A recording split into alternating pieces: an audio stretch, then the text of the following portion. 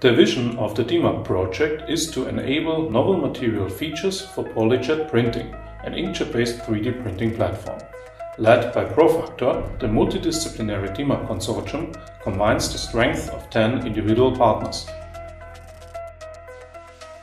PolyJet is a powerful 3D printing technology that produces uh, smooth, accurate uh, parts with a huge variety of materials and colors.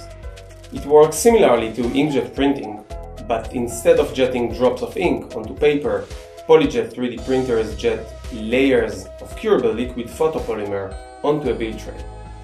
DIMAP uses nanoscale enhanced materials to advance the inks for PolyJet printing. This implements functionalities such as mechanical properties, electrical conductivity, as well as high strength and lightweight features in final objects.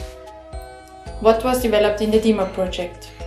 As part of the DIMAP project, a novel multi-material 3D printer is, uh, is optimized to print such advanced materials that are needed for highly complex functional parts. At Festo, we develop a PolyJet printed robotic arm in order to understand the possibilities and limits of additive manufacturing in the context of mechatronic systems. So in PV Nano Cell we have developed a very special uh, nanoparticles. They are single crystal nanoparticles based in, on silver and copper. We call them Sicrys.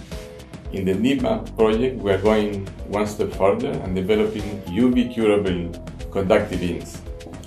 Uh, JKU is responsible for simulation and characterization of the mechanical and physical properties of the prepared ink. We are at CIRP, our service provider for plastic parts for one-off. At our place, finally all threads converge when the final demonstrators are printed. We were surprised and fascinated by the freedom and the possibilities DIMAP materials are offering. In the future, printed robots might be assembled from relatively few but highly integrated multi-material parts. Moreover, structural parts and actuators of printed robots might be designed to complete a specific task in an optimum way. Material properties represent a key element for 3D printing to take the leap to mass production. It also enables a wider range of electronic devices that can be designed and produced with this technology. So we believe that at the end of the project, it will be possible to present the, the development path as well as the development needs in various engineering fields that will push forward the additive manufacturing revolution.